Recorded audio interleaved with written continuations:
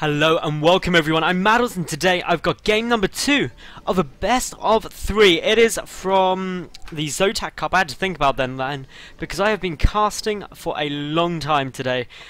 Ultimately, due to the fact that I've got WCS EU challenges to cast and Therefore, I'm trying to build up enough stock on my YouTube channel so I get a game out daily. So, literally yesterday I cast for 10 hours straight for WCS EU, and now I'm casting most of today in order to get enough videos to my YouTube channel. But, yep, beside the point, let's talk about these two players. So, down in the bottom left position, spawning as the blue Protoss, we've got Gung Fu Banda. And his opponent in the top right, currently playing for CM Storm, the red Terran player, Polt.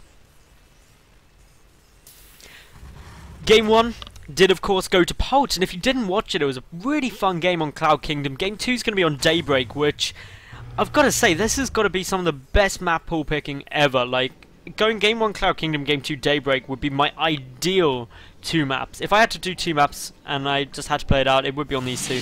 Because I love them, I'm a big fan, they're really enjoyable. So it makes me a happy caster to be casting so many games on them. But as we can see, currently, Gunfu just getting down a gateway. Nothing strange there. Polt getting down a barracks and a gas. Same opening as what he did in game one. Same opening at the moment from Gunfu. Nothing crazy going on.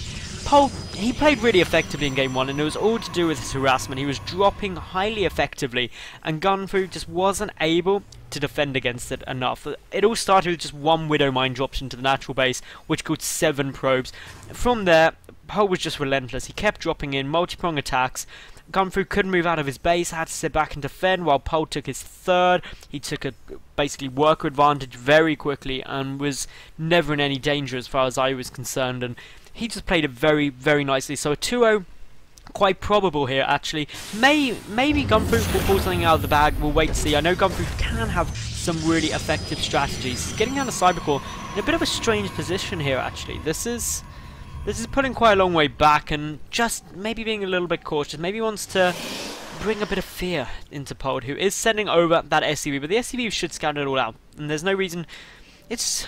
The only reason you're presenting it here is if you were going to try and hide some tech later. Just thinking maybe we'll get something funky going on. We've also got this probe chilling down here. What could we be seeing, guys and girls? Will it be something funky out of Gunfu? Maybe. Maybe it will. But currently this SCV comes in and the SCV is just going to run around and isn't going to spot it. Ooh, okay. So this is straight away quite interesting. Did not see the cybernetics core. The reason that's really important is because suddenly now Polt is not completely comfortable. He doesn't know exactly what his opponent's doing. He's getting down a reactor on his barracks. That's going to help his marine production. A second, a Reaper coming in now. Now he sees it with the Reaper. That's going to be a bit of a sigh of relief actually getting that scout because then suddenly like, okay, phew, things are okay. Nothing too bonkers going on. The Reaper coming back on up in, and this is just a repeat of game one now. This Reaper going to be very frustrating, probably not going to get any kills, but we'll soak up some APM and we'll just be a pain, because being a pain is fun.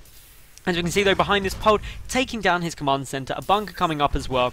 He's happily getting down an engineering bay very early on, and he's got two SCVs in that gas. The second gas is just getting taken as well now for Gunfu, who is happily getting down Warp Gate Tech and his own natural.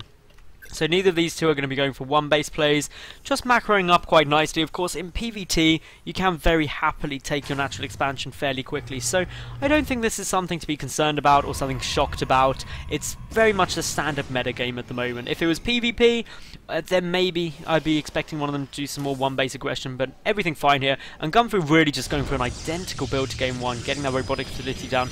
Starting that plus one infantry weapons incredibly early. That is a really early plus one coming down. That's going to be finished.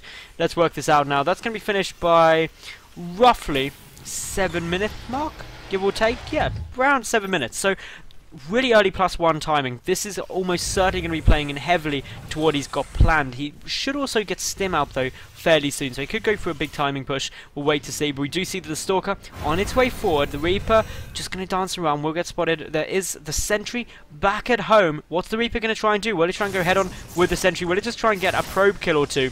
We'll wait to see, but in it comes up towards the main base, moving back further. Warp Gate Tech is done, gets a scout out on everything, sees the two additional gateways, sees the robotics facility, and also saw the mothership core being made because of course the animation is different on the Nexus, producing a mothership core.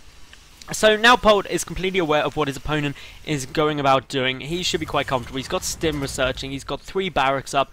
This is so standard looking from the Terran player, it is untrue. And likewise though, it is so standard looking from Gunfu. Neither player breaking out of the mold as of yet, going for anything too crazy. This Reaper obviously hasn't got any kills as of yet. We do have the first Observer hitting the field. This is just going to come and get some information. A second Observer following up as well. Smart choice as well, because if we remember back to game one, Polt did do an awful lot of damage with drops, so getting out a couple more, a couple of extra Observers just means that he hopefully has better map awareness and vision of those drop locations to try and prevent anything from happening.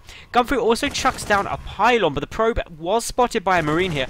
Polt should be able to identify that there should be a pylon down somewhere and go and take it out. Stim is half done, the factory on its way down. Plus one infantry weapons already completed at such an early stage. Really a big advantage. The Reaper is going to benefit from that damage increase as well. But good force field will take out that Reaper, but the Reaper, before it did die, saw that the two forges were coming down, the pylon getting taken down at the other side of the map, and things really looking quite nice now for both players. I don't think that either one has too much to worry about. Obviously when this starport is down, the first two medevacs will pop out, and that's when we could potentially start seeing some timing pushes, but the plus one timing will have been revealed, I can assure you, because Gunfu will have clicked on one of Polt's units just to check on the upgrades, and we'll see that obviously 1-0 is complete, we've got plus one infantry armor coming down. Two double upgrades are on their way though for Gunfu, and those double upgrades, while they're getting chrono boosted, should level out the upgrade advantage advantage quite nicely. We see that the Observer's still running around quite nicely. We've got Stim just about to finish the starport there with no add-on yet. Needs to get a switch with the factory. And that is occurring as I say it. Meanwhile, Gunfu taking down the robotics bay. What more is there to say? Just these two being really, really passive for the time being, not trying to do anything aggressive, just teching up and getting everything out. I'd expect Polt will start moving across with these first two medevacs though. It's a really common timing push. We saw it in game one. It can be highly effective and deal a lot of damage. The Hallucinated Phoenix is going to come straight over these Marines. Will it get through? Yes, it should do. That means the scout will come down. We'll see everything to be expected. And there's nothing surprising here. Just that there's the single engineering bay, uh, just confirming it's not double upgrades coming out. Yet, no armory either means the plus two or be starting anytime in the near future. Gunfu getting some additional gateways down, also getting the Twilight Council. The first Colossus will be in production any second because there's the robotics bay done. Um, And there we go, the first Colossus is getting started too. So this is the time, sort of timing window Polt's going to want to try and exploit, getting in before that Colossus gets out, and specifically before a few Colossi come out, but in comes the single Zealot towards the third, really countering what Polt did in Game 1, which was go for this push while expanding behind it. Just with the single Zealot, it's really nice. There are a few, few units here, all of them getting Stim though to get down here to try and deal with it, so that Stim obviously dealt quite a bit of damage to that infantry. We've also got the third base looking as if Gunfu wants to move down there, but he's not going to be able to at the moment. There's too much infantry here with the medevacs there, with the plus 1-1 upgrades nearly done. But 1-1 is completed for Gunfu, so for a few moments he will have an upgrade advantage, but critically, they'll be equal on upgrades for quite a long period of time, and that's important for Gunfu because he's committed a lot to going those double upgrades. Polt also got his engineering base early, but here comes the double drop loading up. Will this catch his opponent off guard? Gunfu doesn't have anything in the main base at the moment. He has no vision around here, so that means this drop should be highly effective, but units are now starting to get pulled back. I don't know what was seen in order to spot that, but Gunfu has got units on their way. A warping coming down as well. Now the Zealot's getting taken out very quickly. Concussive Shell is not yet completed. Combat Shield is though. That means this infantry will last quite a long time. The Stalker going down. Some force being utilized here. Big load up, and these units are just going to get boosted straight back out of there. The infantry not going to be able to push in towards the third either because there's the Colossus there, the Immortal, and a couple of Zealots too. So very, very nice composition, very good defense there from Gunfu, much better than we saw in game one. Two workers killed on each side, a couple more infantry units coming to join this double drop. The pressure most likely to continue from Polt here as he tries to really keep his opponent pinned back just as he did in the first game. The double drop is loaded up once more. Going to go and join the rest of his units in the center. The uh, Colossus count is a 2, the third one on its way down. Extended thermal lance, not started yet though. And that means the Marauders can stay within range. That first Colossus very low on health. 10 HP remaining, but does stay alive, and that's the important thing. All while it's up, it deals damage. Double drop coming down in the main base for Polt here as well. He is trying to type out these Stalkers. Another Photon Overcharge being used. That means there is very little energy left on that Mothership core. Units getting pulled back. That opens up Polt towards the front. He's going to try and do some damage to that Colossus, but is unable to get anything dead. The Medivac just gets away.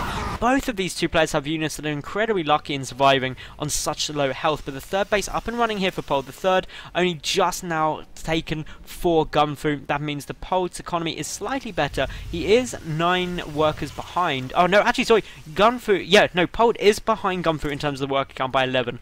But with the three mules, doesn't matter too much. And there's also another Starport coming down already here for Polt, so he's going to switch into quite a lot of Viking production now in order to deal with that Colossus. A couple of Zealots getting taken down. In terms of resources lost, Gunfu has actually lost quite a considerable amount more than that of Polt at this stage of the game, which means that he's got to keep that better economy. Otherwise, if he's trading costs ineffectively, his army will get smaller and smaller, and he'll start getting further and further behind. 2-2 upgrades are now completed for Gunfu. That gives him a solid upgrade advantage. 2-2, still a good 50 seconds away from completion for Polt in-game, and that just means that these 3-3 upgrades that are already researching here for Gunfu, and most likely going to keep getting chrono boosted, will be out so early on, making his army very potent.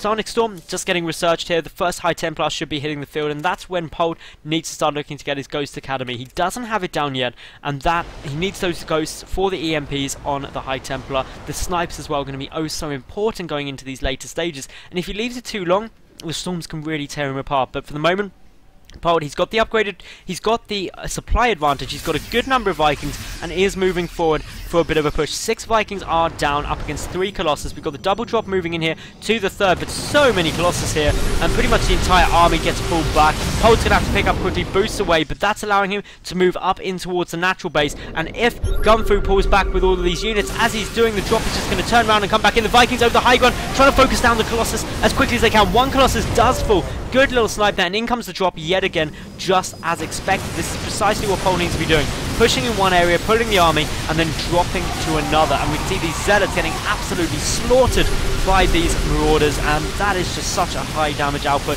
The units pushing up through the center again. A second Colossus nearly going down, surviving with 4 HP. The good force fields are really good. The Storm great, dealing a lot of damage to this infantry. The Polt just has so much stuff. He's still being successful with this drop at the third. It hasn't been cleaned up yet. The Vikings do manage to take out all but a single Colossus. This push at the third has done a huge amount of damage. Absolutely heaps of units have gone down. A lot of workers have also died. The worker count now sitting at 64 to 66. Polt really leveling that out, and with the mules does take an advantage. A couple of Hellbats in with this composition. The final Colossus does fall. A lot of Marines, a lot of Marauders. They are trying to break and end this game here and now. Polt with oh, nearly 100 supply advantage over his opponent. He's going for the win, and frankly, I think he's going to get it. There's the GG, and that means the Polt takes the series 2-0 in and the big thing the Polt did so well there was the dropping while attacking at another angle. He really forced his opponent and taxed his opponent's multitasking to the max. So congratulations to Polt for that. If you enjoyed the cast in the series, make sure you like the video, leave a cool comment, and of course subscribe. I get new games up every day of the week. So I'll see each and every one of you tomorrow. I'm Madals, thanks for watching, and bye for now.